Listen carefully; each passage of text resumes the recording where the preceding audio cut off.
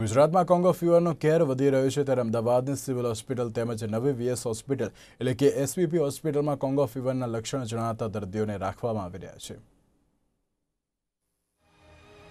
Congo fever ગુજરાતમાં ફરી સક્રિય થયું હોય તેવું લાગી રહ્યું છે. ત્યારે ગામડાના વિસ્તારમાં આ રોગ વધુ ઝડપી રીતે ફેલાઈ રહ્યો છે.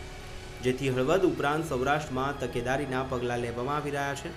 અમદાવાદની સિવિલ હોસ્પિટલ તે ઉપરાંત વીએસ એટલે કે એસવીપી હોસ્પિટલમાં પણ કોંગો ફીવરના લક્ષણવાળા દર્દીઓ સામેલ થયા છે. ત્યારે અમદાવાદની એસવીપી હોસ્પિટલમાં છેલ્લા પંદર દિવસમાં સત્તર કેસ નોંધાયા છે. અમદાવાદ મ્યુનિસિપલ કોર્પોરેશન વિસ્તારમાં સરદાર વલ્લભભાઈ પટેલ હોસ્પિટલમાં તારીખ વીસ આઠના રોજ એક સેવન્ટી ફાઇવ યર્સ મહિલાને એડમિટ કરવામાં આવેલા હતા.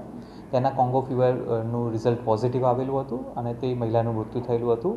તેના અનુસંધાને કોર્પોરેશન દ્વારા જેટલા પણ પેરામેડિકલ સ્ટાફ છે, મેડિકલ સ્ટાફ છે, કે જે આ દર્દીના ટ્રીટમેન્ટ માટે રોકાયેલા હતા, એ તમામની ટેસ્ટિંગ કોર્પોરેશન દ્વારા કરાવેલું હતું. તમામના ટેસ્ટ રિપોર્ટ નેગેટિવ આવેલા છે અને તેમને રજા આપવામાં આવેલી છે.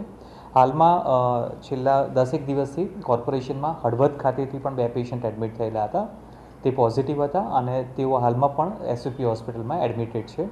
એટ ધ સેમ ટાઈમ રાજસ્થાનમાં પણ રાજસ્થાનથી પણ એક પેશન્ટ આવેલું હતું જોધપુરનું અને તે પેશન્ટ પણ પોઝિટિવ આવેલું છે.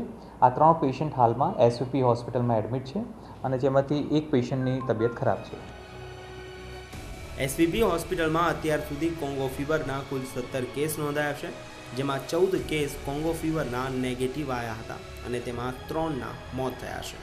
જોકે અમદાવાદ મહાનગરપાલિકાનું આરોગ્ય વિભાગ તેમજ રાજ્યનું આરોગ્ય વિભાગ સતર્ક થયું હોય તેવું લાગી રહ્યું છે અને તકેદારીના પગલાં ભરવા માટે પણ સરકારી હોસ્પિટલને જાણ કરી દેવામાં આવી છે. કેમેરામેન ગજરાજસિંહ સાથે રિપોર્ટર બ્રિજેશ દવે, નિર્માણ ન્યૂઝ અમદાવાદ.